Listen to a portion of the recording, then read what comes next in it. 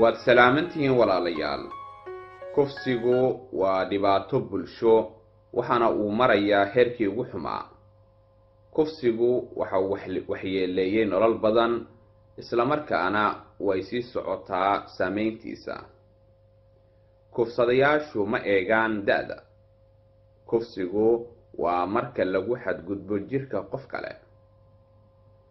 Dumarku waa gabdhaheenna qiimaha badan waa walaalaheen waa xaasaskeenna waa hooyooyinkeen aanu wada jecelnahay.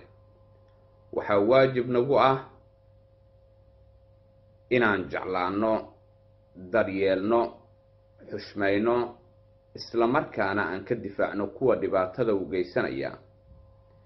Caa-isha ilyaas aadan oo ah gabar aada u yar islamarkaana inta la kufsaday lana dilay iyo gabdho badan oo soomaaliyeed oo aan fursad u helin in laga hadlo dhammaantoodba waxay u baahan yihiin cadaalad.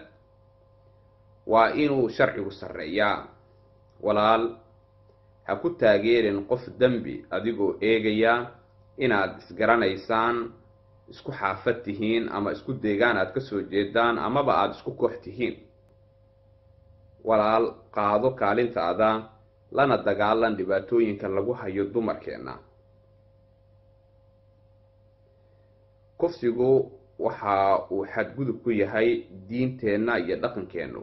Sidaa darteed waa inaanu si wada jir ah ula dagaalanaa oo aanu qaadanaa halku-dhigga maya kufsi maya kufsi jooji kufsiga. Waad mahadsan tihiin sii sheergareeya si bulsho badan ay u gaarto waxaa inoo ballan ah inaanu ka wada shaqayno wanaagga iyo ilaalinta dumarkeennu. Nabadgelyo